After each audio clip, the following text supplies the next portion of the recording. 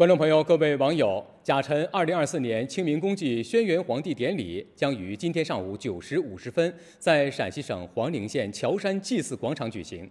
稍后的九点二十分，中央广播电视总台中文国际频道、陕西卫视、海峡卫视、台湾中视等多家媒体将直播公祭典礼盛况。那么，接下来请导播把信号切到公祭典礼的现场。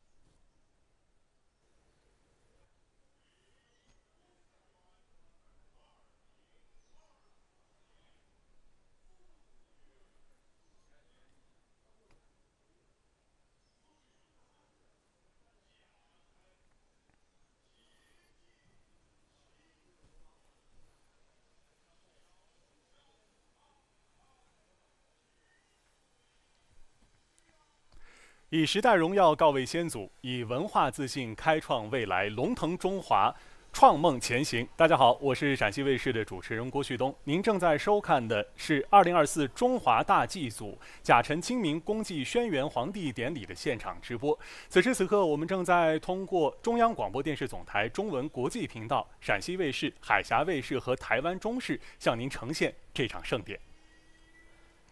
又是一年春草绿。又到一年清明时，大家好，我是中央广播电视总台华语环球节目中心的主持人吴鹏。此刻呢，我们在中国陕西延安市黄陵县，中华民族人文初祖轩辕黄帝的祭祀现场。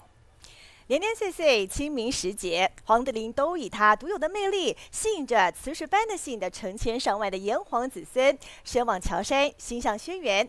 电视机前的观众朋友们，清明安康！我是来自台湾中视的方燕迪，很高兴在这里跟大家见面。嗯，欢迎燕迪。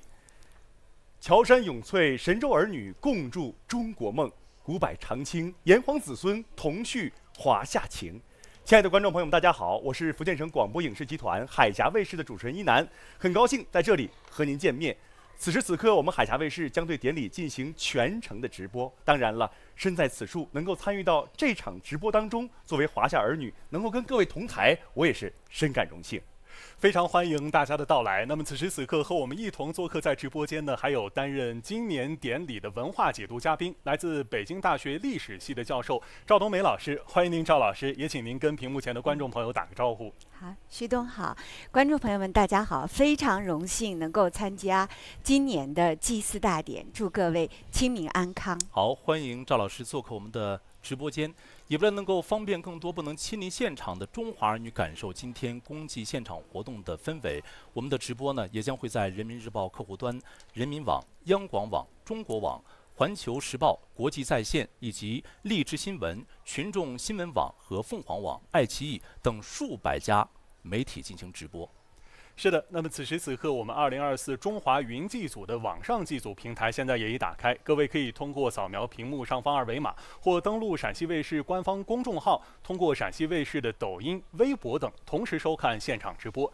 其实我们打开这样的网上祭祖通道啊，也就是说，此时此刻，无论您身在何方，都可以通过网络和我们心灵相连，畅叙追思。是。尤其我们知道啊，现在地球上大约有五分之一的人都把皇帝奉为共同祖先，海峡两岸也是同根同源。今天我们大家能够一块儿相聚在这里，去缅怀先祖，慎终追远，都是因为我们有一个共同的名字——炎黄子孙。炎帝说的太好了，炎黄子孙，其实在我看来啊，这个词是有力量的，而像。和炎黄子孙一样，比如说我们当说到中华儿女、中华大地的时候，其实它代表的是咱们中国人背后对于我们共同的一种文化、一种身份的认同。那么赵老师，既然今天呢我们在这里祭祀皇帝，那炎黄子孙和皇帝之间是一个什么样的联系？能不能请您为我们解读一下？哎，好，对我们是炎黄子孙，这个是全世界华人共有的身份认同。炎就是在我们中国人的历史。记忆当中，炎帝是农业文明的开创者，而黄帝则把炎帝所开创的农业文明发扬光大。黄帝是华夏制度的开创者。东汉的《白虎通义》里边说：“黄者，中和之色，自然之性，万事不易。”而皇帝始作制度，得其中和，万事长存，故名皇帝也。就是在我们的民族记忆当中，皇帝首先是英勇无畏的上古战神，他通过两次大战打败了、征服了炎帝部落和蚩尤部落，在更广大的范围之内建立起来了和平，奠定了华夏民族的核心和基础。而且，皇帝还是一个伟大的发明家和创造者，他有着泽披万世的创造之功。比如说，皇帝做律吕，他是音乐的发明者；皇帝做素书、做内经、做真经，他是医学的开创者；皇帝做鱼服、车马制度、服饰制度。我们今天说，灿灿中华，府府文章，其实是始于皇帝而大备于周的。我们还知道皇帝的正妻嫘祖，他是种桑养蚕、丝绸的开创者。而丝绸其实是华夏文明对于世界文明的一个非常重要的贡献。嗯，孔子曾经说过：“郁郁乎文哉，无从周。”而周代的文治其实是可以上溯到皇帝的。司马迁作《史记》，第一篇就是《武帝本纪》，而第一句话开篇就是“皇帝者，少典之子，姓公孙，名曰轩辕”。从那个时候起，一直到现在，在我们。华人全球华人的历史记忆当中，皇帝和他所在的时代都是一个伟大的、具有创造性的时代。而在中华大地上繁衍生息，并且开枝散叶到世界各个角落的，我们都是炎黄儿女。是，相信经过赵老师这么一讲解，大家的感受跟我们一样的，对皇帝的形象。认识会更加全面，也会更加立体。可以说，我们今天生活中的方方面面，衣食住行都和皇帝有着千丝万缕的联系。那么，您刚才讲到了皇帝的妻子嫘祖是丝织业的始祖，这就说到了丝绸。丝绸呢，也是我们中华文明对外传播的重要载体，也做出了重大的贡献。那么，呃，就在距离我们黄陵县一百六十公里外的西安，也是。古丝绸之路的陆路起点，那是古之长安呐。而今天的西安呢，在去年去年的五月份呢，没错，我们中国主场外交首届中国中亚峰会也是在西安举办的。可以说，世界再次把目光放到了这里。我觉得对此旭东应该更有体会。的确是这样。作为一个西安人，我感到非常的骄傲。那的确，在去年的首届中国中亚峰会成功的在西安举办，可以说呢，它也开创了中国和中亚国家交往的一个里程碑式的事件。那其实，作为所有的炎黄子孙，我觉得看到这样的盛世再现啊，发自心底的，我们都应该感到骄傲和自豪。是。那其实我们说到炎黄子孙，今年呢又是甲辰龙年，除了炎黄子孙这个咱们中国人都认同的称谓。之外啊，我又想到了一个，说出来大家肯定都知道，那就是龙的传人。哎，说的没错。其实我觉得咱们不光是被称之为是龙的传人，咱们既然是龙的传人，还有一个词儿也很重要，那就是龙的精神。今年啊，还有一个新的字儿，不知道大家有没有发现哈？可能大家对于来说呢，这是一个生僻字儿，三个龙组合在一起，一个全新的叫做什么呢？打这个字啊。是形容为是群龙腾飞的一个场面，而在今年的央视总台的春晚当中啊，也把这个达达来描绘了一个全新生动的场景，就是咱们十四亿的中华儿女。奋发有为、努力向上的这种昂扬的斗志，嗯，中华文化实在是博大精深。不过刚才一楠也提到了，我们说到龙，大家知道吗？其实龙是十二生肖中唯一在现实中不存在的动物。有一种观点就认为，龙图腾的诞生其实是远古社会不同的族群在融合的过程中，可能取自了某一个部落或者是部落所崇敬的动物，在融合而成的这个形象。其实刚才大家谈到很多有关龙的图腾的一些认可，包括对皇帝精神的崇尚，我觉得这是相通的，有共同的精神在其中，那便是兼容并包、坚强勇敢、开拓进取。这也是我们今天举行这样一个活动的意义之一，要将这种精神传承下去。刚才也说到了龙，今年是甲辰龙年，这是按照中国式纪年方法来推算出来的。赵老师，能不能再给我们讲讲中国式纪年有什么特别之处？对我们提提到甲辰龙年的时候，包含两个部分。第一个词是甲辰，第二个是龙年。甲辰就是我们中国传统的计时方式，就是我们传统用十天干甲乙丙丁戊己庚辛壬癸，还有十二地支子丑寅卯辰巳午未申酉戌亥两两组合在一起，这样就构成了六十个不重复的计数的单位，从甲子开始到癸亥结束。周而复始，没错。呃，干支计时方式呢，其实既可以用来纪年六十一甲子，也可以用来记日。汉武帝的时候又发明了年号，所以我们中国传统的计时方式，其实对于今天的学生来讲会比较不好学。但是呢，就是把干支和皇帝的年号结合在一起，其实你就可以准确的把时间定位到公元的某一年。而公元的纪年方式，其实它是一个呃西方传来的纪年方式。呃，如果我们今天来看的话，公园比较容易，干支呢，其实可以说是相对来说比较浪漫的，因为它不断的重启，不断的更新，也就是我们永远都是有新的机会的，我们是可以常为新的。嗯这个是甲辰，然后还有龙年，龙年就是十二地支，还有十二属相，子丑。呃，子丑呃子鼠、丑牛、寅虎、卯兔、辰龙。辰呢，就是我们今天说今年是龙年，是因为因辰而得到龙。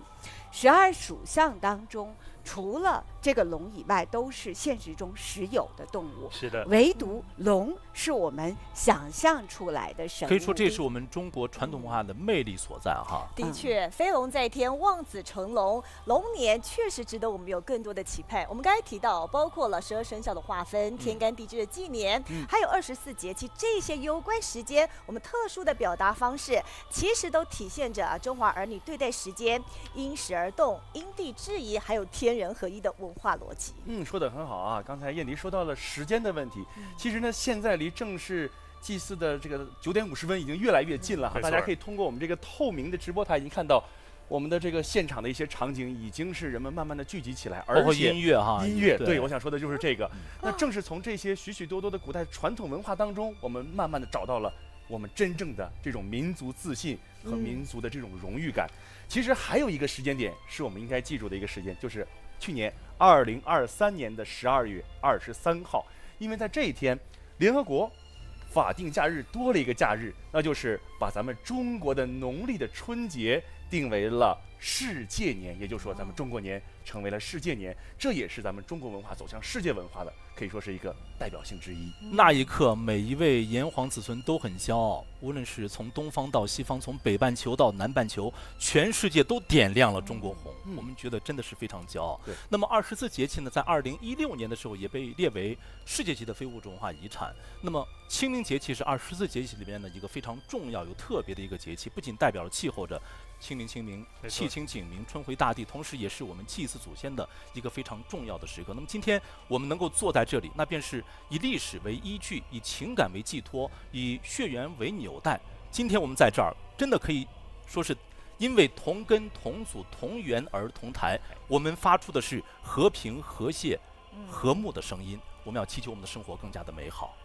是寻根问祖，就是我们中华儿女的精神传承。在中国人的思想里，根就是祖先，是亲人，也是故土。我想，我们今天祭祀的皇帝陵，不是把皇帝当做神灵来祭祀，嗯而是在如今现在这个肃穆的气氛当中，我们带着满满的感恩，我们要追思的是先民们到底如何是创造文明，如何造福我们子孙。嗯，说得好，我们就是来共同的祭奠我们的文化之根、血脉之源，寻找到我们来时之路。是哎，其实说到这儿哈，刚才无论是从赵老师的介绍当中，还是从这个燕迪的讲解词当中啊，我们都想提出了一个问题哈。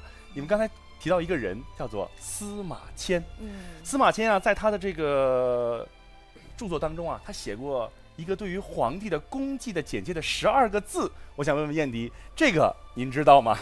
我知道，但我考考您。你要考考我。其实呢，来给大家说一下哈，分别是治武器、义武种，还有抚万民以及度四方。那嗯这十二个字呢，是司马迁对于皇帝功绩的一个简介。同时，我还想问一下吴鹏啊，哎，《史记》当中还有一个，您不是说喜欢看这本书吗？啊，还有几个字也是来形容这个跟皇帝有关的。看来您功课做得非常的充分啊！您刚才用了十二个字，也就是这个司马迁的十二个字来讲述了皇帝生前的功绩。《史记》里面有六个字讲述的是皇帝去世之后的所葬地。您说《史记》里边有这样的记载：皇帝崩葬乔山，这个乔山所在的地方就是我们黄陵县的乔山，乔山之巅嗯就是我们的皇帝陵。历朝历代的祭祀活动都会在这边上演。那么，其实对于我们先祖的纪念，莫过于树碑立传。说到这个石碑，旭东，嗯，我们这儿可是一个宝库啊。哎呀，看来不仅是一男，大家都是做好了功课才来到我们黄帝陵的。那说到石碑呢，其实此时此刻我们直播台正对着人文出祖庙的两侧呢，东西各有一侧碑廊，其中一侧的碑廊中就完整的保存了从宋代到清代历朝历代祭祀皇帝的碑文。那此时此刻呢，我的同事郑月和一位特殊的嘉宾已经在碑廊就位了，马上让我们来听一听他们有什么故事，嗯来跟我们分享。好，很郑月。你好。旭东你好，大家好，我现在所在的位置是轩辕庙碑廊的其中一侧。我们说，只有从悠久的历史当中，才能真正认识中国，了解中华民族。走过这条长长的碑廊，真的很像一次历史的穿越。在这儿竖立着四十六通古碑，从北宋到明清，内容包括着栽种松柏、维修祭祀，其中最多的叫做御制祝文，也就是古代帝王在祭祀皇帝陵时留下的祭文。在这些石碑当中啊，有一通非常的特别，它是用满汉两种文字共同撰写的。今天我们也邀请到了碑林博物馆资深金牌讲解员白雪松老师，接下来呢，就由白老师为我们好好讲述一下这通石碑。白老师您好，月月你好，大家好，我是白雪松。我们所在的位置啊，是在黄帝陵轩辕庙的西碑廊。大家也看到了，这里真的有非常多的碑石文物。没错，所谓竹帛难存，金石永固。咱们中国人啊，自古以来都是非常的信赖石头和石碑的。嗯，比方说，我们会把最强的军功叫乐石嫣然，把最美的爱情叫海枯石海枯烂石烂。我们相信精诚所至，金石为开。我们愿意把最重要的事情都刻在石碑的上面。嗯，那么今天我要隆重的介绍一方非常珍贵的双语碑，就在我们的身边。嗯，康熙二十一年御祭皇帝陵祝文碑，可以看到啊，碑文是由汉文和满文两种文字书写，其中的满文部分更是由清康熙皇帝亲笔御书的。那么这篇碑文呢，我们到底是什么时候刻的呢？可以看到，康熙二十一年是一六八二年。嗯，这一年啊，康熙已经除鳌拜、平三藩，维护国家统一。他特意派遣了一个人，我们来看具体碑文。月月，工部右侍郎加一级苏拜，嗯，派遣了苏拜致祭于皇帝轩辕氏。不知道月月和大家有没有发现一点，皇帝的名讳啊，没有顺着写在下边，另起了一行。对，而且顶格写，嗯，这其实在我们碑文里是一种惯常的手法，但是更重要的是表现了我们对轩辕皇帝的崇敬之情。嗯，那么碑石之后啊，就立在了这里，这里也成为了一个真实的历史坐标。其实我们中华文明真的是源远流长，从人文初祖皇帝开始，我们中华各民族啊是带有圣贤出，我们薪火相传，我们相濡以沫，我们不离不弃，我们共同创造了璀璨的五千年文明。这也是为什么我们如此的重视祭拜黄帝陵的原因。咱们中华各民族是一家，汉文和满文都是中华文字。哎，其实月月，有的时候我真的会有一种非常强烈的感觉，就是我们中华的文字真是一种非常神奇的存在。你想，它既是思想的载体，同时又是情感的传达，它既可以传承历史，同时也可以打开心结。嗯，就像我们的祖先会把疑惑的事情漆刻在甲骨的上面，会把不愿忘记的事情镌刻在石碑的上面。因为刻骨，所以铭心；因为刻碑，所以铭记。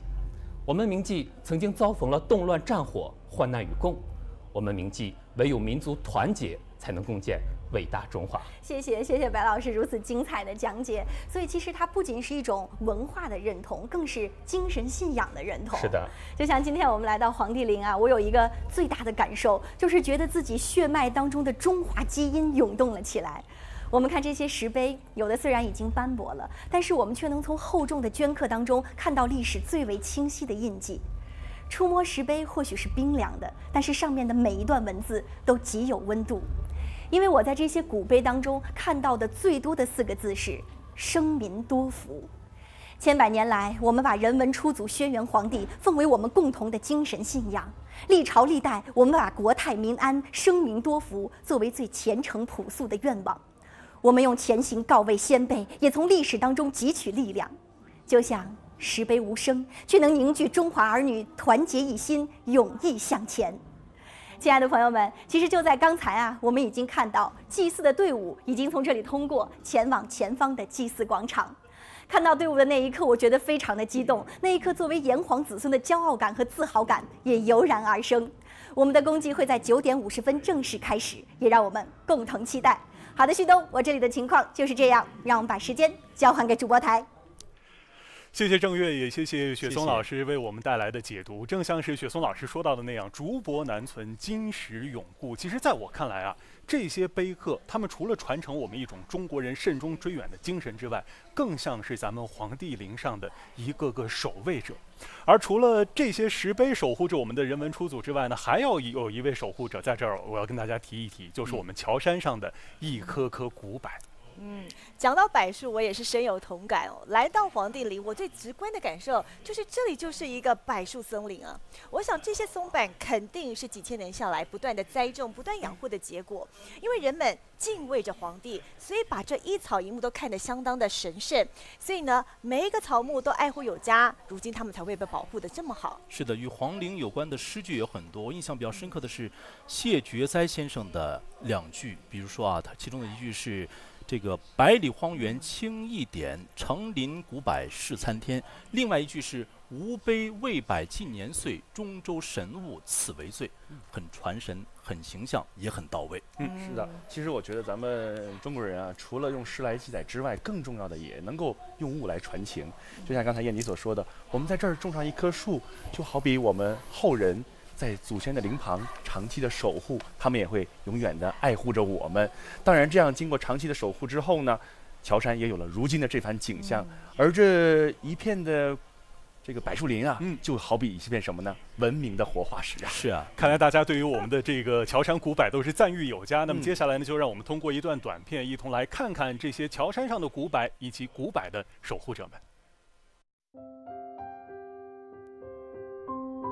黄帝陵周围有一片总面积一千三百三十五亩的柏树林，这里生长着八万多株古柏，其中千年以上的古柏有三万四千六百余株，是目前我国面积最大、保存最完整的古柏群。这其中最为著名的，当属被誉为世界柏树之冠的黄帝手植柏。这棵树龄超过五千年的柏树，相传是轩辕皇帝亲手栽植。这棵与中华文明史同龄的古柏，见证了沧海桑田，留下了文明的印记。在乔山进行大规模人工种植柏树，始于汉代，随后历朝历代都派人进行栽植和养护，形成了如今漫山遍野、郁郁葱葱的乔山古柏。每天，在茂密的古柏林里，总能看到一群身着橘色制服的人行走于山岭间。他们对于乔山的每一处地形和每一棵柏树都了然于心，日夜与山林为伴，像爱护自己的生命一样守护着这里的每一株柏树。他们就是黄帝陵的护林员。据记载，北宋时期就出现了第一批专业护林员，这一传统一直延续至今。如今，在皇陵儿女的守护下，气象万千的乔山古柏群，棵棵根深叶茂，苍翠挺拔。在护林员们看来，他们守护的不仅仅是一片柏树，更是每一位中华儿女心中的精神家园。谢谢这些可敬又可爱的守护者们。那么，其实我觉得今天啊，在这个特殊的日子里，咱们也要特别感谢一下陕西延安黄陵县的守陵儿女们这千百年来对于我们人文出祖的一份守护。嗯，是的，我不知道各位有没有注意到哈，刚才在我们的短片当中呢，我们发现了这样一个细节，嗯就是我们在黄帝陵现存最早的碑文啊，是出现在什么呢？宋代，而这里面就已经开始记载着种植树木和保护的过程了。今天咱们的赵老师是宋代的 宋史的专家哈，非常荣幸 代表宋代来表一表。对对对，赶紧对来给我我们的们讲哈我们仪式开始了，呃赶紧给我们讲对讲这方面的故事啊！现在黄帝陵现存最早的碑刻就是北宋仁宗嘉佑六年，也就是公元一零六一年所立的栽种松松柏圣旨碑。根据这个碑文呢，就是房州当地地方政府奉圣旨，要在我们的桥山上，在黄黄帝陵的附近，要栽种一千四百余棵松树和柏树，而且有三户的守陵人，国家免除他们的赋税，让他们在这儿看守桥陵。我们可以看到，这个是来自遥远的首都开封的皇帝的命令，他的目的就是讽刺我们华夏的人文初祖皇帝，而。黄帝陵的这个祭祀，其实在中国古代一直都是一个作为先代帝王祭祀，也就是说，皇帝在我们心目中他是真实存在的，他是我们需要记忆、需要呃怀念的一个是的，可以说是嗯一个非常隆重的一个祭祀仪对式。那么，其实我们知道啊，我们也会通过各种各样不同的方式来祭祀我们的这位人文初祖。比如说，我们在国家有一些重大事件的时候呢，也会祭祀他。另外呢，大家可以看到我手中啊有一个呃三枚的黄帝陵的特种邮票，这是在一九八三年，距今二十年前所发布的。其中展示的呢，就是我们黄帝陵的三个标志性的建筑：黄帝陵。呃，人文初祖庙以及轩辕柏，可以说也是用这样的方式在祭奠着我们这位人文初祖。那么今天呢，我们的仪式将是九点五十分正式开始。现在呢，我们的参祭嘉宾呢，已经陆续的穿过我们的这个人文初祖庙，他们将会登上九十五级台阶，去向我们的人文初祖表示自己的一份追思。嗯，刚才大家也提到啊，这旭东在介绍的时候提到了两个九五，包括了我们要登上九十五级的台阶，还有这典礼时间就在九点五十分要开始，其实就是取意了九五至尊、至高无上，要凸显我们皇帝祭祀的最高规格。是的，那么今天呢，大家可以看到今天的轩辕广场的礼器陈设也是最高的规格，嗯呃，九鼎八簋，这是古时最高规格的祭祀的器物。除此之外，在这儿有一个预告，剧透一下，待会儿的乐舞表演中会有这个八亿队列呈现，这是一个最高的规格的呈现。没错，那么讲到现在呢，我相信大家一定对于我们的典礼非常的期待。在这儿再跟大家最后一点时间来介绍一下我们典礼的大概流程。九点五十分，典礼将正式开始，将会分为海内外华人代表依次向皇帝献进向花篮表达追思，然后呢将会攻读祭文，之后呢就到了我们的乐舞告祭，也就是我们的八佾舞的部分。是在这之后呢，大家还会。进行龙飞中华环节，放飞一条巨龙之后，大家会进入宣言殿来瞻仰轩辕像。在这之后呢，还会登上我们的乔山去种植下一棵乔山柏。可以说啊，也是呃代表着我们这种精神的一个传承。那么现在呢，我们看到北京时间已经到了九点四十八分，让我们把画面切换到现场。负责同志，延安市委、市人大常委会、市政府、市政协、黄陵县委、县人大常委会、县政府、县政协的主要负责同志和陕西省各界守陵儿女代表，捐资铸建黄帝陵的单位和个人代表，参加黄帝文化学术论坛的学者，参加公祭典礼的还有海内外新闻媒体的记者朋友。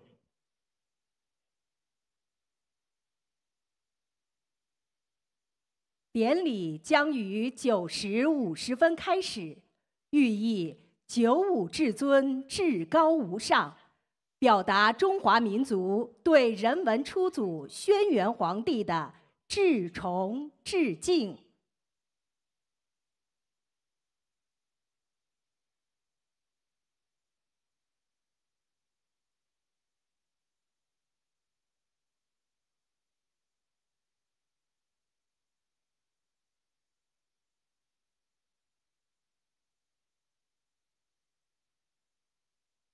现在，请中共陕西省委常委、常务副省长、陕西省公祭黄帝陵工作委员会主任王晓先生主持公祭典礼。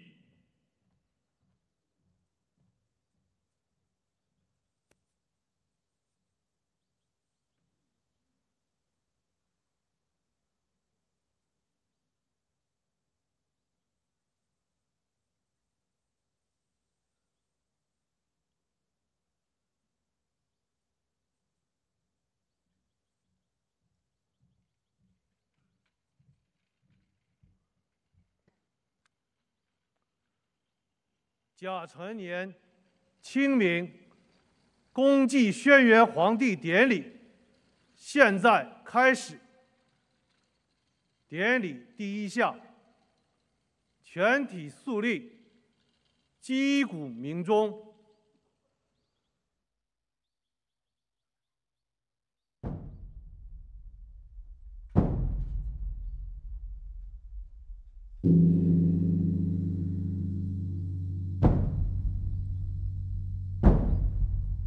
鼓声雄浑，钟鸣悠远。激响的三十四通鼓声，象征着全国三十四个省、自治区、直辖市、香港、澳门特别行政区和台湾地区，以及海内外中华儿女。崇敬出祖的共同心声，九响钟鸣，代表了中华民族传统礼仪的最高礼数，表达全体中华儿女对人文出祖轩辕皇帝的无限敬仰。和无比感恩。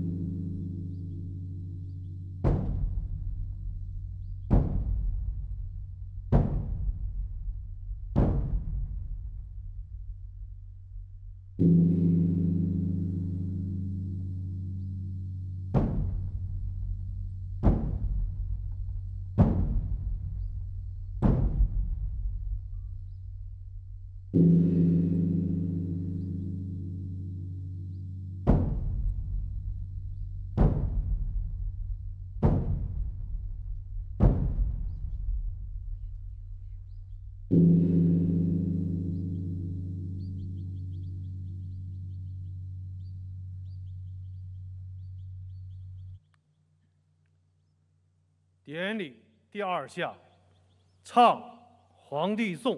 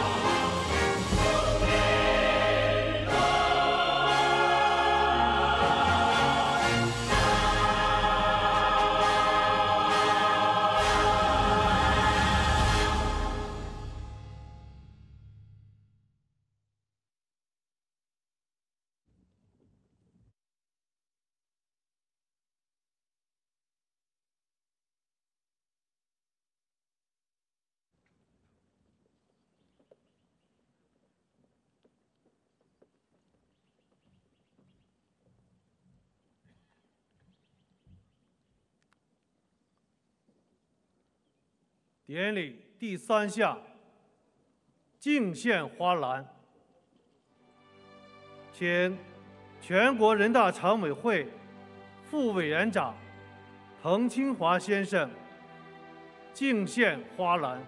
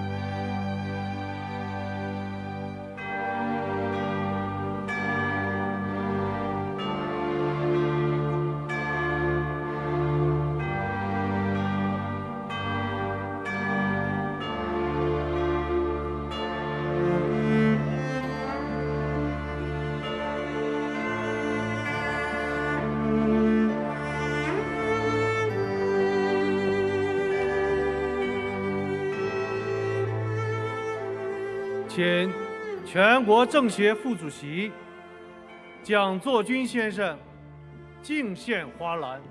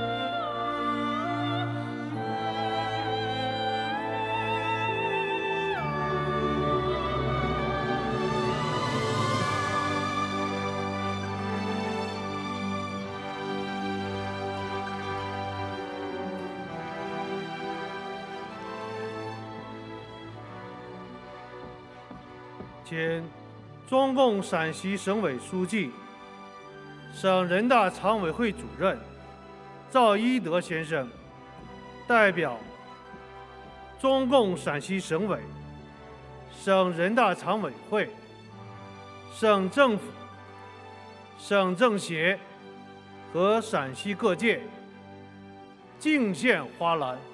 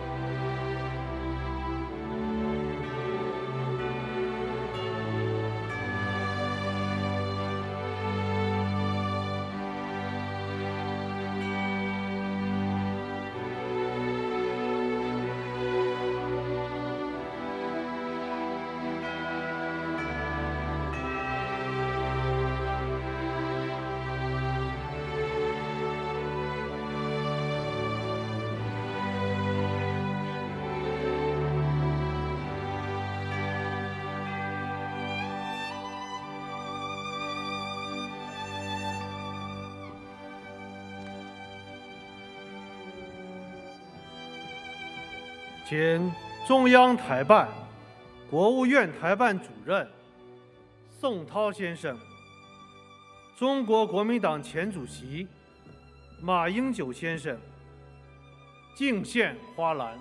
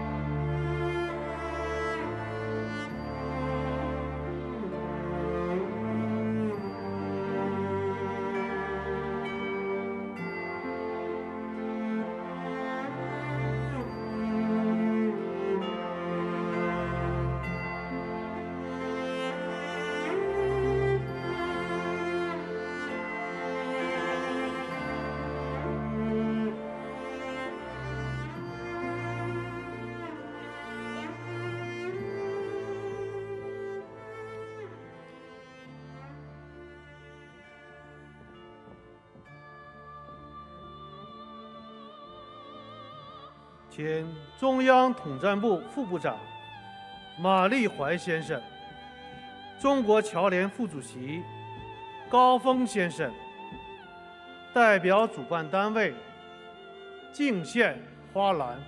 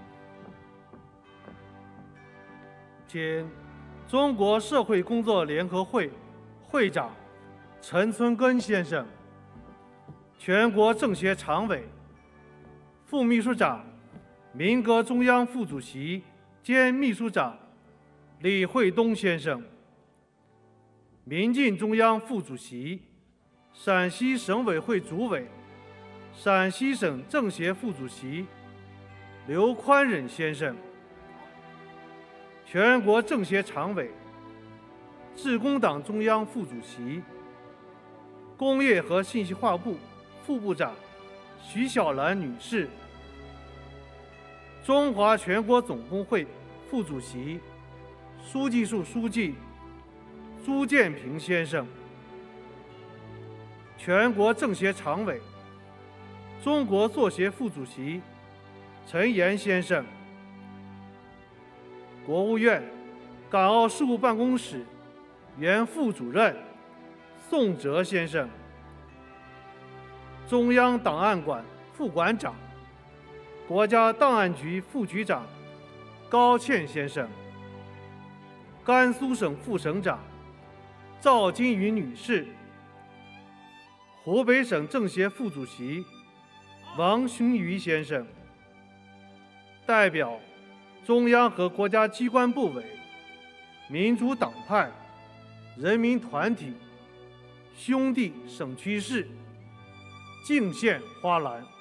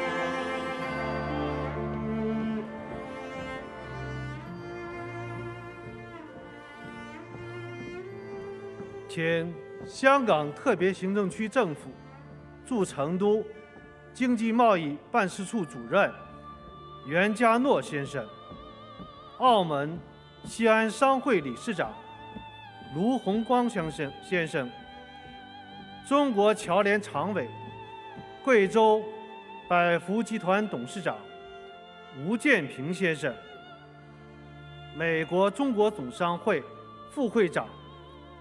中国侨商联合会常务副会长李学海先生，西安交通大学电信学部先进光电所所长云峰先生，香港影视文化协会会长徐晓明先生，代表港澳同胞、海外侨胞敬献花篮。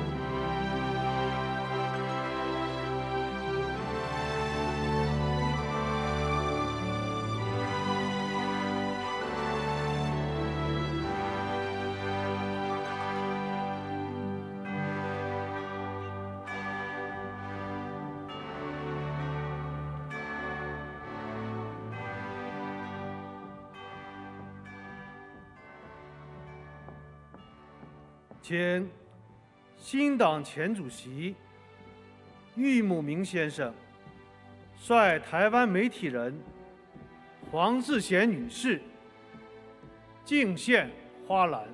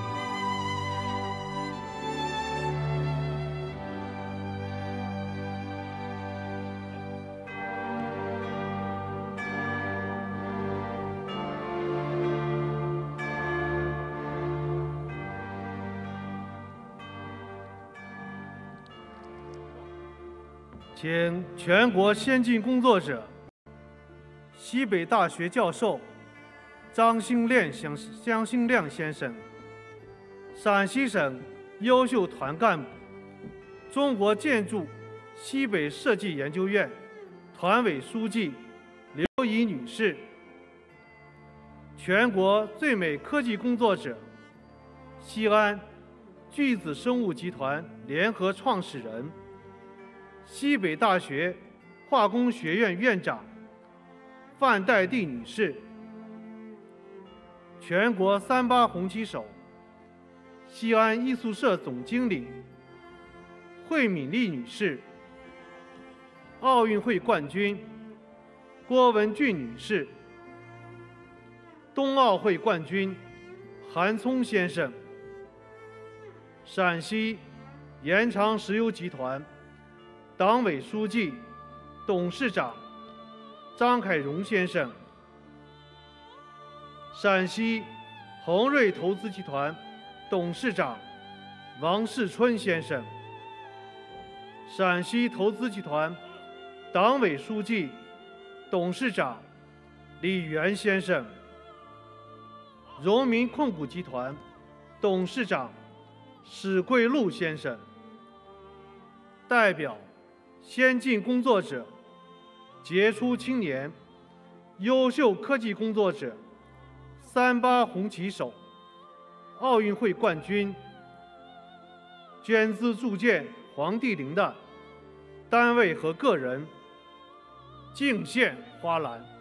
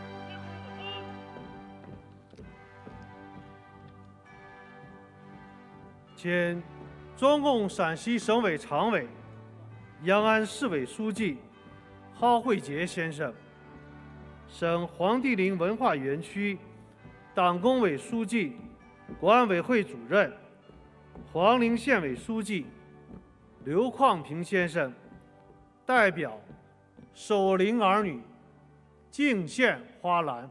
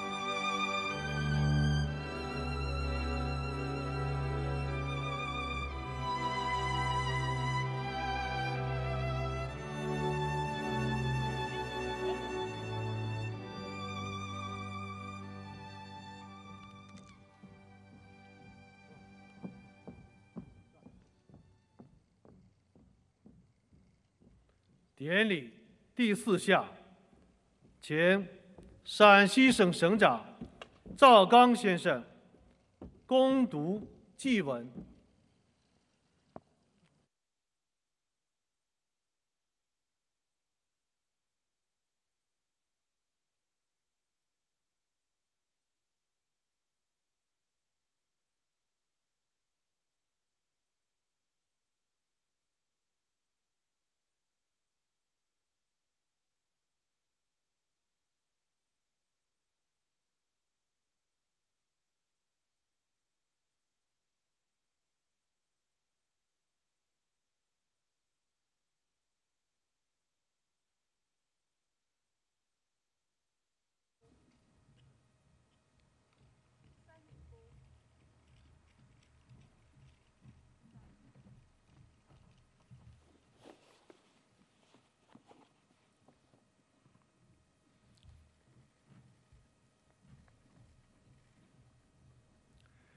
岁次甲辰，节戒清明。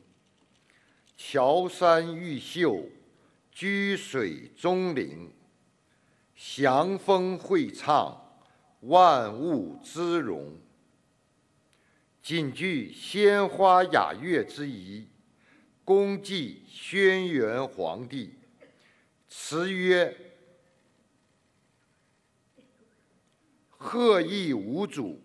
日角龙颜，大道至简，遇事成天。止戈为武，兵米乱堪。兵从事也，威震营环。礼乐思兴，枝叶已繁。千秋鼎坐，万代永传。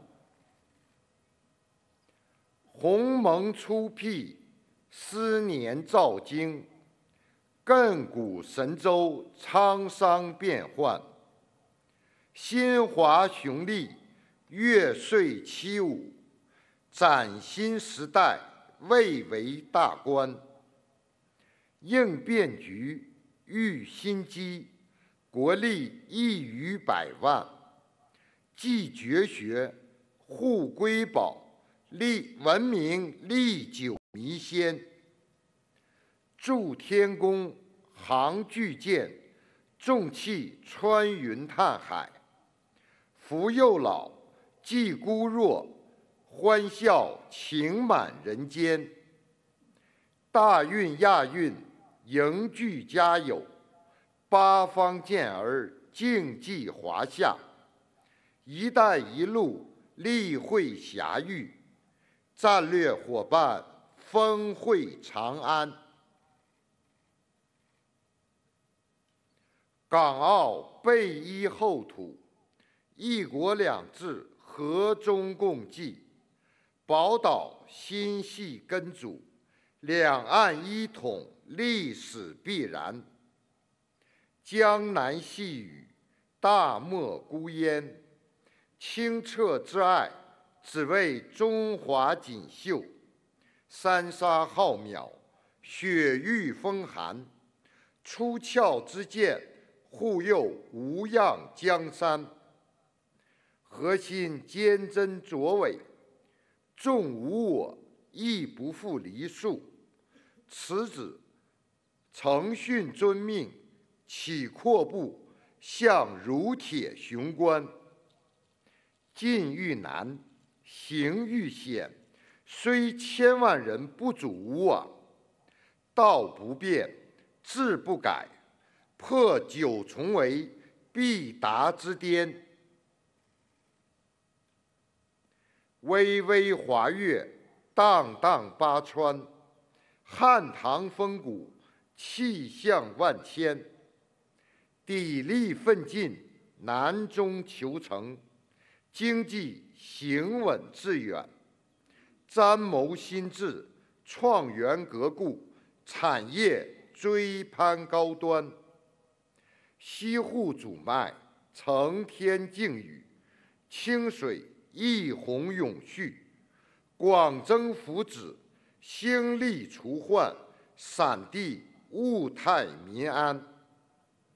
领袖情系三秦。厚望潮头涌立，西部垂范；儿女倍感殊荣，杨震气魄无畏，世谱新篇。乔山巍然似养，居水潺湲流长。祈愿无主圣德，福佑社稷安康。备简礼以事成。现之文而见伤，惟寄心阁，上其见想。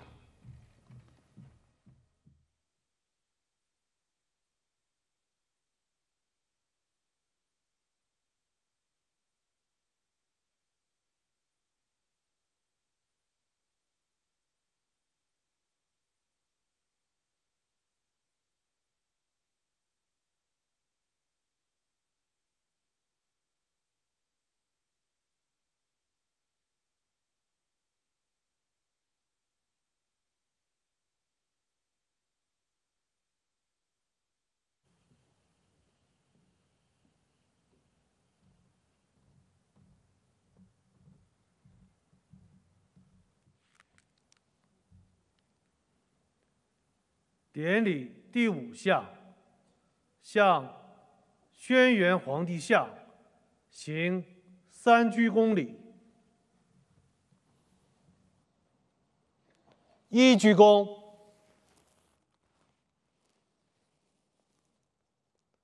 再鞠躬，三鞠躬。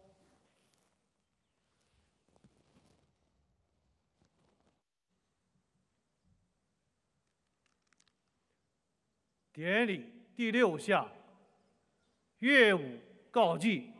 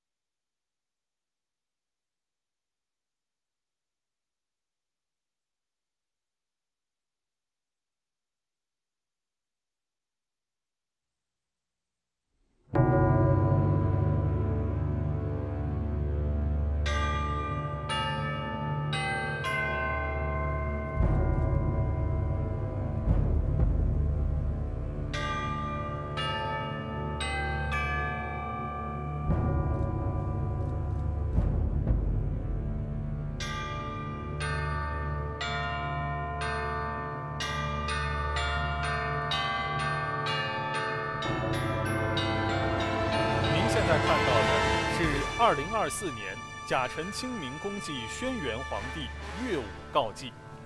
八佾舞是中国古代规格最高的祭祀舞蹈，也是中华传统礼教的重要组成部分，是对礼的最好诠释。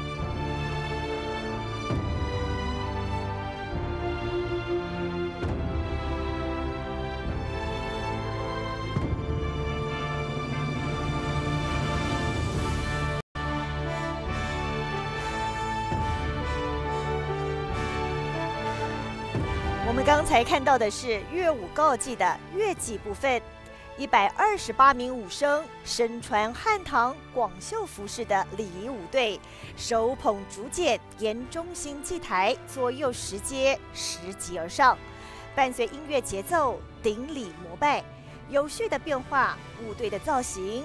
在雨润清明的歌声中，用文以昭德的御宅文武和武以相公的干戚己武舞，表达慎终追远、不忘祖德的国风民心。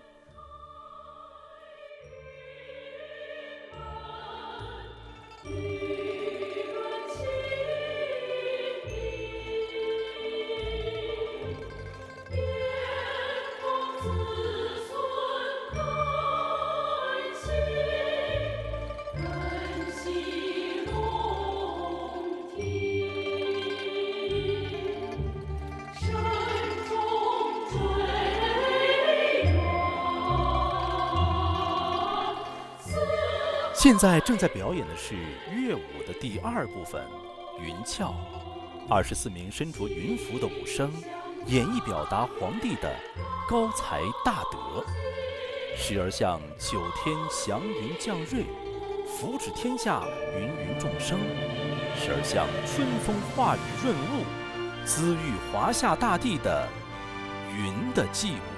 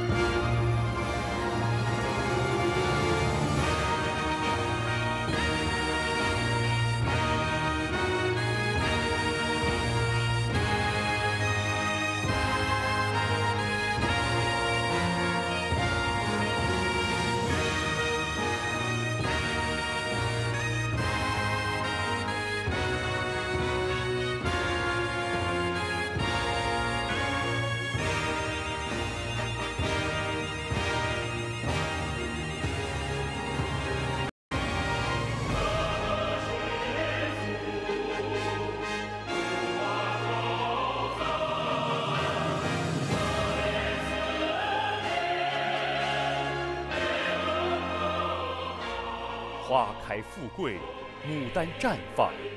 目前我们看到的是乐舞天香部分的表演。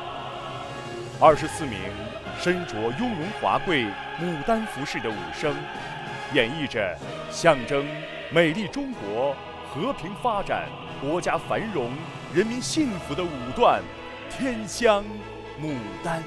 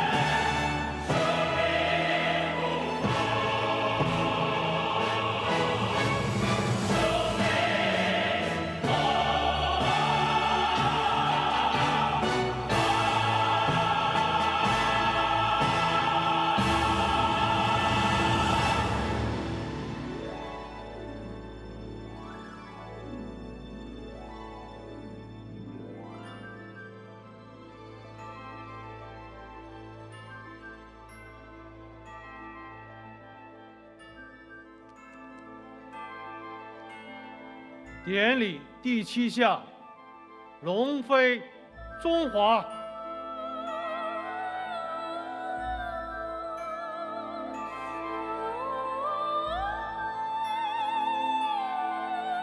五十六米长的中华飞龙，从祭台中心盘旋腾跃而起，穿越五千年的历史时空，引往日新月异的现在。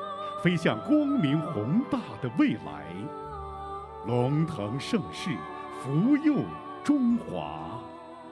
腾飞吧，凝聚着团结一心、民族情感的中华龙；腾飞吧，激扬着奋斗不息时代力量的中华龙；腾飞吧，承载着实现中华民族伟大复兴。历史宏愿的中华龙，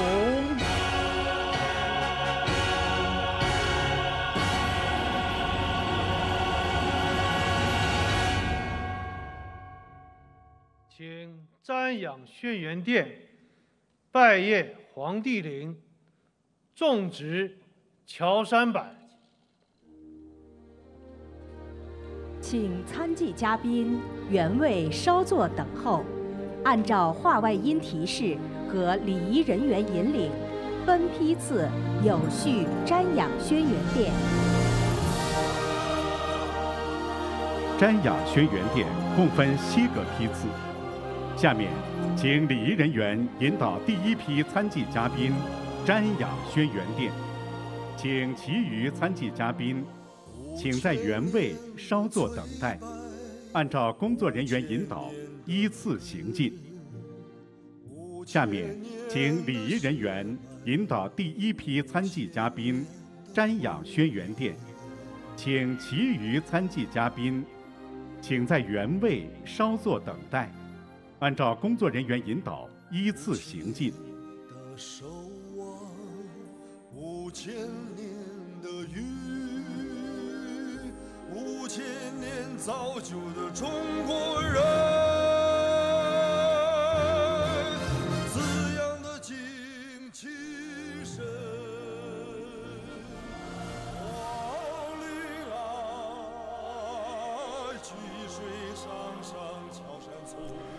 黄帝陵轩辕殿，又称祭祀大殿，是黄帝陵的标志性建筑。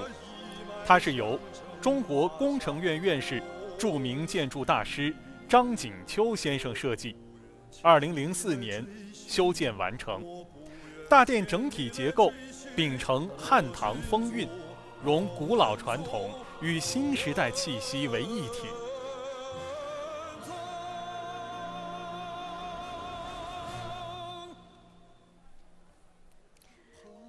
于黄帝陵北端的轩辕殿，坐北朝南，山水形胜，一脉相承，天圆地方，大象无形。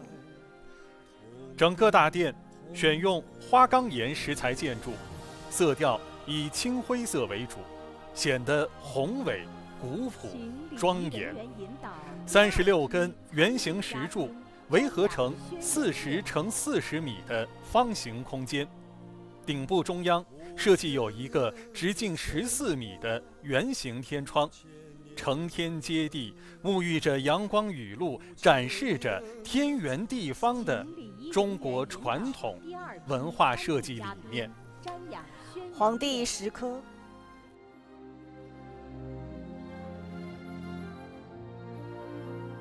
五千年的心印，五千年的心。五千年之久的中国结，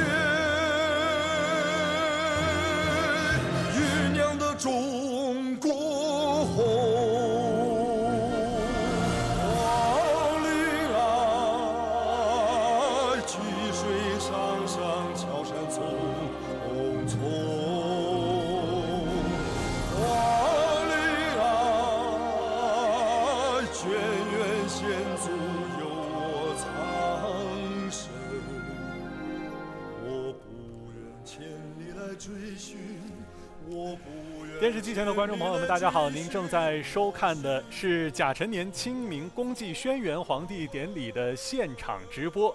我们的本次公祭典礼是由陕西省人民政府、国务院台湾事务办公室、国务院侨务办公室、中华全国归国华侨联合会共同主办，来自全国各省市、自治区、直辖市。港澳、台湾以及海内外的华夏儿女共同参与的一场民族盛典。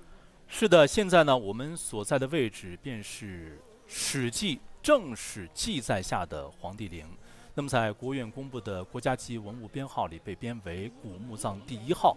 在二零零六年，黄帝陵祭典被列入国家级非物质文化遗产。二零一五年末，习近平总书记指出呢，中黄帝陵是中华文明的精神标志。由此可见，黄帝陵在中华历史文化中的地位和作用。是的，今天我们在现场看到了非常庄重大气磅礴的一次祭祀的盛典。那我们相信呢，刚才我们在直播开始之前也跟大家讲了，我们还有很多的炎黄子孙不能来到现场，我们开通了网上的这种祭典仪式。是那接下来时间，我们可以把一些好的留言也观众朋友们一起分享一下。对，其实刚才大家看到的是我们的这个参祭嘉宾在轩辕殿内进行了庄严肃穆的瞻仰仪式，随后呢将会前往乔山种植柏树，为乔山增添一抹新绿。嗯，说到留言，其实有很多哈，我们来分享一下。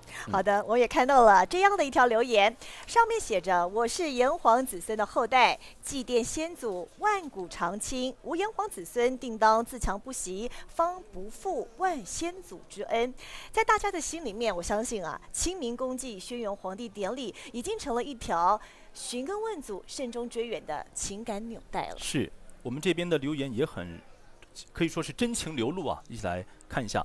目之所及，皆为华夏；心之所往，皆为信仰。愿我们伟大的祖国，人民有信仰，国家有力量，民族有希望。可以说，今天的祭祀活动也唤醒了每一位中国人沉浸在血脉深处的民族认同。是的，而我相信呢，其实不仅仅是网上的网友朋友有这样的感触，我相信今天几位呢来到黄帝陵，我们共同参与了这样一场庄严肃穆的仪式。此刻各位肯定也是感触良多。那接下来的时间呢，就请各位来跟我们分享一下。不如我们先从远道而来的燕迪开始。好，嗯，来有请燕迪。嗯，内心真的是非常的澎湃、感动，尤其看到这满山遍野的柏树啊，还有啊，这充满着碑刻的长廊。但是呢，最难得的是，今天我们会有这样的一个机会，让我们和我们共同的呃祖先去进行了一场跨越千年的相望，还有聆听。我深深的感受到一个作为炎黄子孙的自豪，尤其是在台湾，其实我们也非常的尊崇皇帝。在台湾大大小小有二十座皇帝庙，每一年呢，我们也都有轩辕皇帝大典的举办，其实就是为了要象征我们慎终追远、不忘本。就像是孔子所说的“祭如在”，我们祭祀我们的祖先。当我们祭祀我们共同的祖先，其实都代表着我们去感念祖先对我们的奉献跟爱。但回过头来，我们要继续努力，努力的工作，努力的生活，才能不辜负祖先之恩。好，这我我想也是现代祭祀社会的真谛。嗯，是的，说的太好了。我也说说一说我的感受吧。好，其实我觉得一直感觉到我们的祖先从蛮荒走向文明，一直在上下的探索。可以说呢，无论在任何时候，都会看到有一些人会脱颖而出，他们是跨越时代的探路者。从远古时代的三皇五帝，到我们的国难时期的仁人志士，再到目前国家发展建设时期的能工巧匠，可以说中华上下五千年的历史有过分分合合，但是我们始终都是一体，是凝聚力，让我们手拉手，从古到今走到现在。所以说，我觉得今天的这个活动可以说是我们炎黄子孙的对于国家认同、民族认同、血脉认同。文化认同的精神宣誓。此刻，我觉得真的应该我们也手牵手，好不好？好不好？我们也应该我们要同根同源，手牵手，要为国家发展凝心聚力，为我们的心智生产力的发展凝心聚力。我觉得只要我们手拉手、心连心，就可以呈现出上下同欲者胜，齐心协力着赢。我们一起加油，好不好？加油，加油，加油！其实呢，刚才吴鹏您说到这一点啊，我觉得特别的好。为什么呢？就是只有心手相牵，我们才能共赴未来的一种凝聚力。我们昨天在来到这个黄帝陵的这个时候哈，我去做了一点小功课，嗯，我就围着刚才我们这个店的大殿，然后去先走了一圈。我手中还拿到了一个小册子。我们来说说刚才为什么我会讲到这个亲手相牵这种感触啊？我们来看一下这个皇帝的这个画像，您看哈，他像不像是一个？正在往前前行的人，但是发现后面好像没有人跟着他，赶紧去招手，让后面的人来跟上他的脚步。我觉得这就充分彰显了什么呢？一个领导者的风范，一个领路人的风范。这或许也像是我们一生人要走过的路，要不断前进，不断前行。但是呢，更不要忘记我们本身应该有的这份积淀跟这份时常的回首。嗯，就像我今天有感而发，也总结了几个词，叫做什么呢？四海归宗，同根同源，勿忘来时路，扬帆再起航。好，说的太好了，赵老师。啊，其实我刚才一个是很感动，非常不容易来到了现场。然后我刚才一直在想两个问题，第一个就是说，我们为什么要纪念皇帝，或者推而广之说，谁值得我们跨越世代、世世代代的怀念？技法上是这样说，就是有五种人是值得我们永远祭祀的。一是说法师于民则祀之，就是创立了制度的人值得我们纪念他。再有就是以死勤事则祀之，以劳定国则祀之。他指的就是那种鞠躬尽瘁，死而后已，把自己的生命贡献于一个伟大的事业，贡献于国家民族的人。这样的人值得我们祭祀他。再有就是说，能御大患。能御大灾，能撼大患，则祀之。指的就是说，在大灾大患面前，能够带领着人民走过去，能够抵御大灾大患，这样的人，这样伟大的人，是值得我们祭祀的。皇帝是这样的一个人。呃，南宋的时候，朱熹把刚才这个话有一个。有一个更简单的、更容易懂的总结。朱熹说：“有功德在人，人自当报之。”就是如果你对人民做出了贡献，那么人民就不会忘记。我们今天纪念皇帝，就是因为他有功德在人，有功德在中华民族。这是我们为什么要纪念皇帝。那么再有一个就是纪念皇帝。祭祀皇帝对于今天的我们来说，它意味意味着什么？其实，祭祀是一种慎终追远。一个民族，一个有着悠久历史的民族，固然是值得自豪的。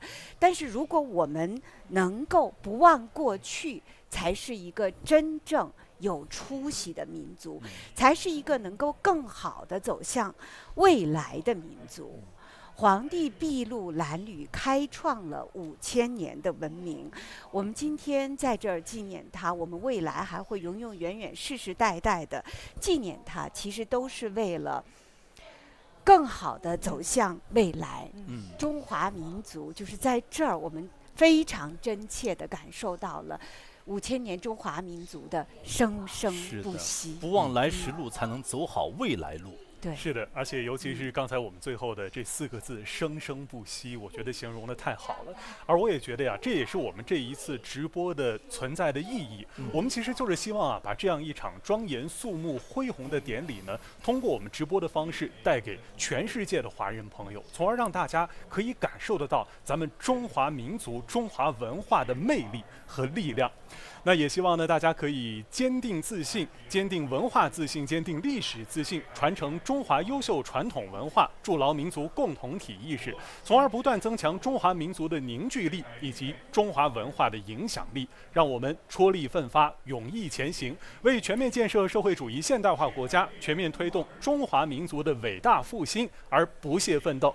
在这里，再一次感谢屏幕前的各位，也感谢各位和我们在这里一同来到今年的轩辕黄帝的公祭典礼的现场。那么到了这里，二零二四中华大祭祖甲辰年清明公祭轩辕皇帝典礼的现场直播就告一段落了。在节目的最后，也祝屏幕前的每一位观众朋友清明安康，阖家团圆。我们明年再见，再见，再见，再见。再见。